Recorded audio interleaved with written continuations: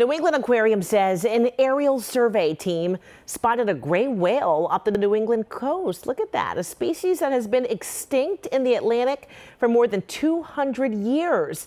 They say this sighting off about 30 miles south of Nantucket is just the fifth documented sighting of a gray whale outside the Pacific Ocean in centuries and a sign of climate change impacts.